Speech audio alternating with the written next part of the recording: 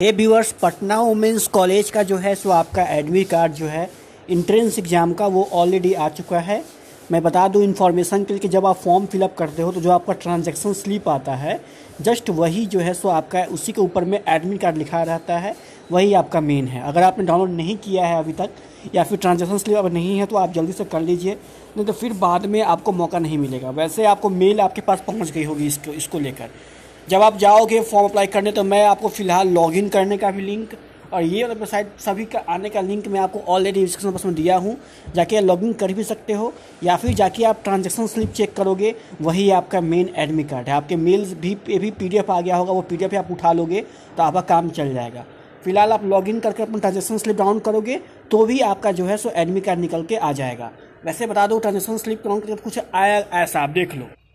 देखो, कुछ ऐसा आपका खुल के आएगा जिसमें यहाँ पे आपका फ़ोटो बना हुआ रहेगा और यहाँ देखना लिखा हुआ रहेगा, आपका Patna women's college admit card देखो लिखा गया admit card B A honour semester one बाईस से पच्चीस, देखो लिखा गया है।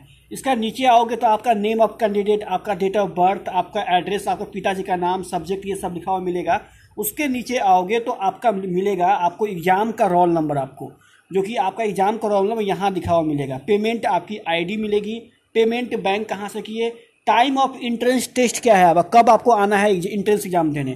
तो ग्यारह बजे से लेकर एक बजे तक। उसका प्लेस ऑफ़ एग्ज़ाम कहाँ देना है? एग्ज़ाम सेंटर कौन सा है आपका? तो पटना वुमेंस कॉलेज खुद दिया हुआ है ये पटना वुमेंस कॉलेज में ही जाना है। और डेट ऑफ़ इंट्रेंस टेस्ट कौन है? उनतीस छः दो हज़ार बाईस जब आप ऑफलाइन जाए जाओगे तो आपको यही वाला का प्रिंट निकलवा के जान, ले जाना पड़ेगा।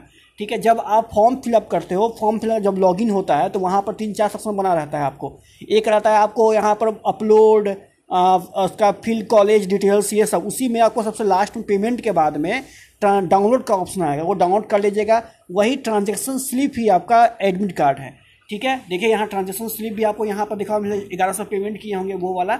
तो आप अपने आईडी और पासवर्ड जो मिला होगा, आपको मिल पाया होगा, उसके थ्रू लॉगिन भी कीजिएगा तो आपको मिल जाएगा। काफ़ी सिंपल है करने का तो आप खुद से भी कर लीजिए और डाउनलोड कर लीजिए। बार बार आपकी पटना वुमेंस कॉलेज की एडमिट नहीं आएगी आके रखी हुई है, बस आपको कर लेना है। बाकी पटना यूनिवर्सिटी का इंट्रेंस एग्ज़ाम का एडमिट कार्ड एग्ज़ाम से दो दिन पहले आता है, ठीक है? अगर अट्ठारह जून को परीक्षा है तो आपको पंद्रह या सोलह को एडमिट कार्ड आएगा। तो उसमें अभी वेट कीजिए, अभी टाइम है, लेकिन इसका आ चुका है, आप डाउनलोड के अपना कृपया कर रख लीजिए। ये वीडियो ज़्यादा ज़्यादा शेयर कीजिए, ताकि सभी सभी लड़कियों को हेल्प मिल जाए और वो कहीं और मतलब उनको दिक्कत की परेशानी ना करना पड़े। बाकी अगर पटना वुमेंस कॉलेज की अभी से लेकर इंट्रेंस एग्ज़ाम सभी तक की मैं आपको हेल्प लगातार कर ही रहा हूँ और वीडियो बना बना के डालता रहूँगा। आप इसके साथ सब्सक्राइब कर लीजिए। दूसरी बात, मेरी क्लास चल रही क्लास ऑनलाइन चल रही है। अगर आपको इंट्रेंस एग्ज़ाम निकालना है तो आप मेरे क्लास ज्वाइन कर सकते हैं। नीचे दिया हुआ व्हाट्सअप नंबर उसे मैसेज कीजिए, मैं आपको क्लास ज्वाइन क्लास ग्रुप में ज्वाइन कर दूँगा। Bye thank you so much